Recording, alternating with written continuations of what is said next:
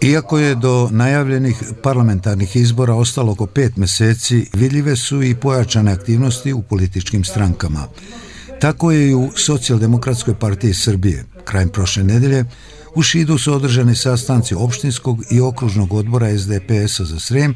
kome je prisustovao i predsjednik pokrajinskog odbora Nenad Ivanišević. Mi smo večeras održali redovnu sednicu okružnog odbora, mi smo zadovoljni kako organizacija funkcioniše u Sremu i ono što je možda karakteristično za nas, mi ne krećemo u kampanju, mi smo u kampanji svo vreme i ta kampanja se ogleda u tome što, kao što i predsjednik naše stranke, gospodin Rastavljavić, redovno radi odlično svoj posao, naša kampanja jeste u tome da mi između izbora u stvari radimo svoj posao najbolje što znamo, za ono što smo obrazovani i za ono što nam je povereno od strane našeg cejnog kolisnog partnera Srpske napredne stranke, s kojom naravno nastavljamo i dalje da radimo, dajemo svoj doprinost i hoćemo i u budućnosti u tom delu i u tom koalicijalnom potencijalu da budemo naravno deo te priče. Ono što je karakterično za Srem jeste naravno da je